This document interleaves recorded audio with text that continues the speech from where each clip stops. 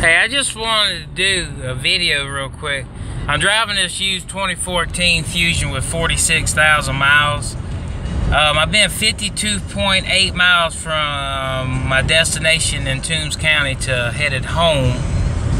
Um, I just want to show you the average fuel economy um, on this unit.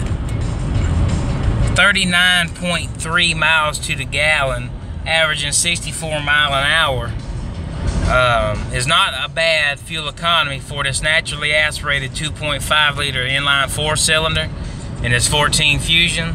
It's a SE with sunroof. You got the home management link system for your garage doors. You got sync, of course. You had the you don't have the touch screen in this one, but you have a lot of great features and benefits.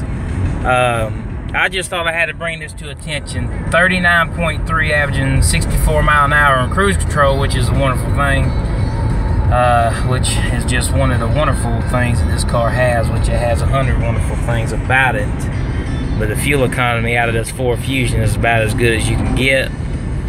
You're not going to get it. You're not going to step into any other product here in America that's going to average this kind of fuel economy at almost 65 mile an hour running at about 1900 RPM, shy under 2000, which is great.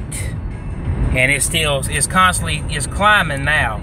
It's 39.4 and it's constantly climbing. So let me tell you, this car can definitely hit 40 plus miles to the gallon on the highway.